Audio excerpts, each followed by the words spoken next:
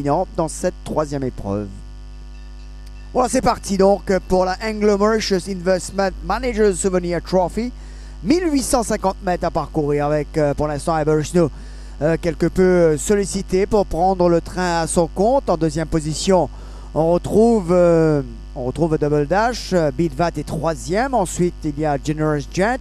À son extérieur, Fort Noble. Ensuite, Baron Blixen, The Sneaker et Kumbaya qui ferment le cortège alors que les chevaux vont passer le but pour la première fois. Aucun problème pour Jean-Roland Boutani et Snow qui mène le bal avec deux longueurs d'avance devant son compagnon d'écurie Double Dash. En troisième position, nous avons le cheval Beat That. Puis à l'extérieur de That, il y a Fort Noble. Suivant cinquième position à la corde, cependant, se trouve Generous Gent. Et puis nous avons le cheval The Sneaker. Son extérieur, il y a... Euh, le cheval euh, en dernière position, ben, il y a Kumbaya. Juste devant lui, il y a Baron Blixen.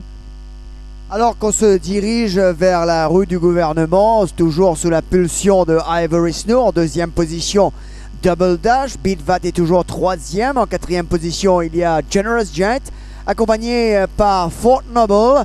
Ensuite, euh, on retrouve Baron Blixen de Sneaker.